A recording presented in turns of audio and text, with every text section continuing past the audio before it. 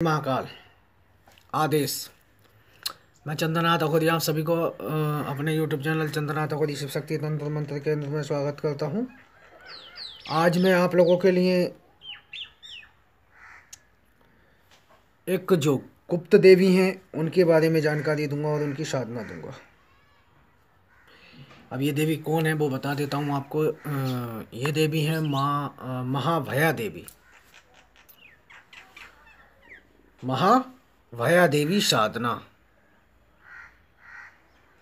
और इनके विषय में आपने वैसे सुना नहीं होगा, लेकिन बता देता हूँ जो इनका एक मंदिर है महाभया देवी का, जो कि छत्तीसगढ़ में और ये साधना आपको कहीं नहीं मिलेगी, चाहे ढूंढ लेना। गुप्त साधना है, और हर जगह ये साधना नहीं मिलेगी। विधान भी गुप्त है।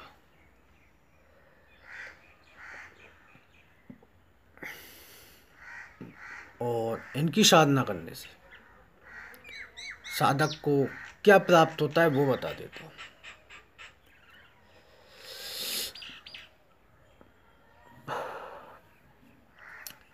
अगर कोई साधक माँ भया देवी की साधना कर लेता है तो माँ भया देवी साधक को एक वर प्रदान, यानी वर देती है। और वर देने में क्या उसे दिव्य दृष्टि प्रदान करती है? यानी वर देने के बाद दिव्य दृष्टि प्रदान करेंगी वर में ही दिव्य दृष्टि देंगी वो।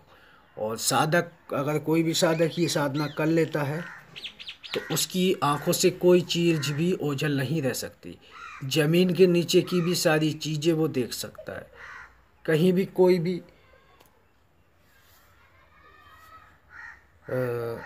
छिपी चीज़ वो देख सकता है। उसकी आँखों से कोई चीज़ ओझल नहीं होगी। किसी का भी भूत भविष्य बता सकता है।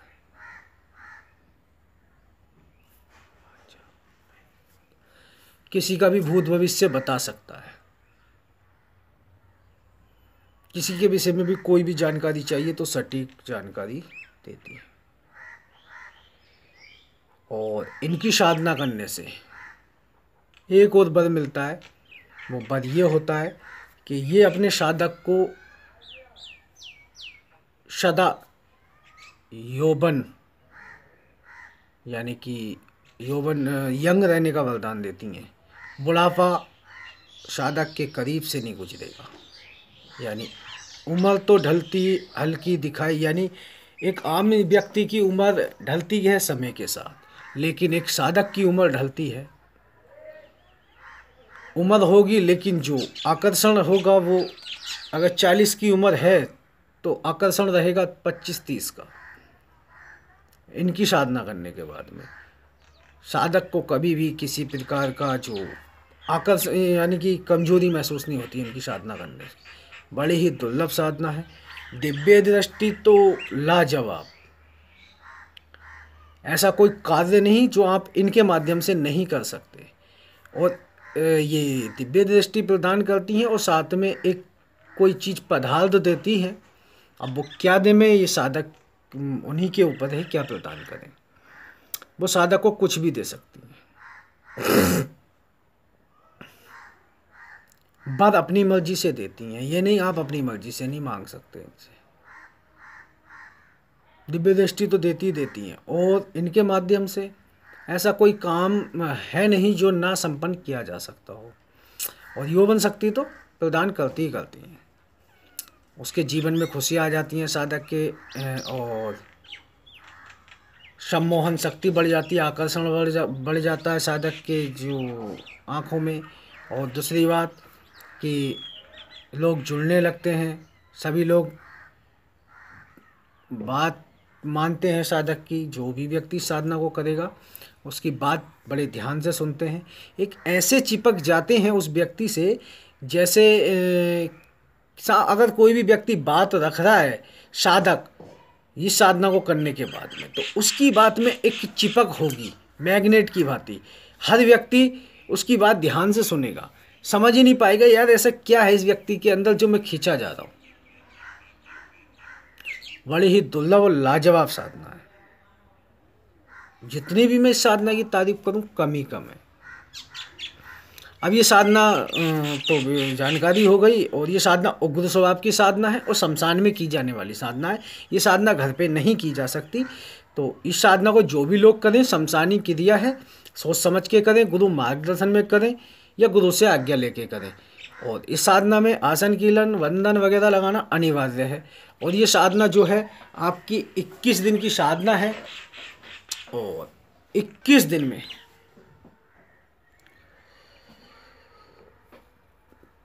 आपको सवा लाख जाप करना है।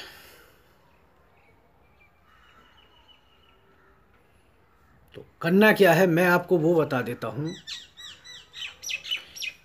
कि ये शमशान में साधना करनी है और ये साधना वहाँ करनी है आपको, जहाँ पे चिता जलाई जाती है तो चिता के जो आप बैठेंगे, सिरियाने को बैठेंगे।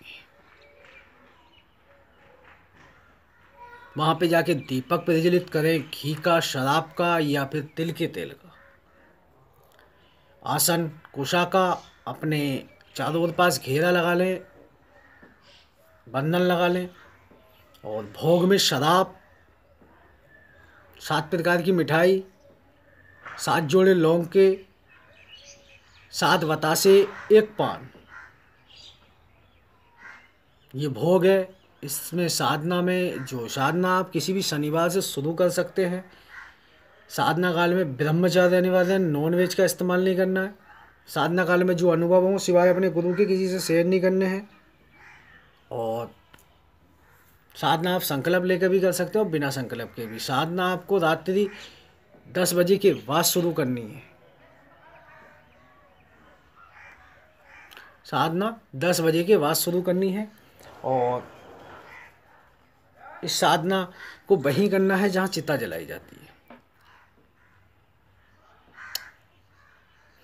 दीपक आपका, तिल के तेल का, या घी और शराब से?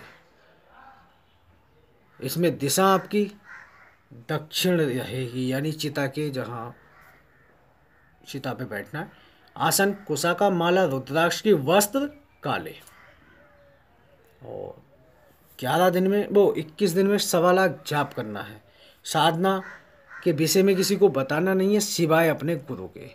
और जब ये दर्शन देती हैं, उग्र स्वभाव की साधना इसमें अनुभव बड़े डिफ़िकल्ट होते हैं तो सोच समझ के करें, अनुभव में कुछ भी हो सकता है। किसी भी प्रकार के अनुभव हो सकते हैं। तो जो व्यक्ति कलेजा रखते हैं और डरते नहीं हैं बह नहीं खाते हैं, वही साधना को करें और जो व्यक्ति कमज़ोर दिल वाले वो साधना को ना करें। साधना के अंतिम दिन आपको वही ग्यारह माला से आहुति करनी होती है और आहुति में वही आपको जो, आहुति में आपको हवन सामग्री, जौ गूगल इलायची, काले तिल, चीनी, शक, चीनी, घी, शराब और आपका चमेली का तेल और गुलाब के फूल। हो सके तो कमल के फूलों से करें, और नहीं मिले तो गुलाब के फूलों से आहुति करें। और आहुति करते ही साधक को प्रत्यक्ष दर्शन देती हैं, जो कि माँ यानी कि महा अभा देवी माँ भया देवी और बड़ी ही बेहतरीन साधना है और लाजवाब साधना है। तो अब हम आपको मैं मंत्र बता देता हूँ, मंत्र सुन लीजिए। मंत्र है ह्रीम महावाष्टमी। स्वाहा, मंत्र एक बार सुने। ह्रीम महावाष्टमी, स्वाहा। बहुत छोटा सा मंत्र है सिंपल सा मंत्र है, कोई भी साधक बड़े ही आराम से कर सकता है और अपने जीवन को बदल सकता है और दूसरों का भी जीवन बदल सकता है, जन कल्याण भी कर सकता है। जिस तरीके से हम लोगों का काम कर रहे हैं, इस तरीके से आप लोग भी साधना को करने के बाद कर सकते हैं। तो ये थी महा भया देवी की साधना जो कि आपको ढूँढने से भी नहीं मिलेगी। तो आशा करता हूँ कि वीडियो पसंद आई होगी। पसंद आई हो तो लाइक करें शेयर करें कमेंट करें। ज़्यादा से ज़्यादा शेयर करें ताकि लोग ज़्यादा से ज़्यादा यानी कि लाभ उठा सकें। तो अब जिन लोगों को कुशा आसन, रुद्राक्ष की माला या फिर कमल गट्ठे की स्फटिक की, या हकीक की, चंदन की, या फिर तुलसी की जिस जिस जिन भी लोगों को चाहिए वो हमारी संस्था के नंबर पर कांटेक्ट कर सकता है और ऑर्डर बुक कर सकता है और होम डिलीवरी सुविधा है। तो नंबर हमारा वही है nine six three nine eight five seven five zero nine. तो आशा करता हूँ वीडियो पसंद आई होगी। और पसंद आई हो तो लाइक शेयर कमेंट सब करें। तो जब तक के लिए जय श्री महाकाल।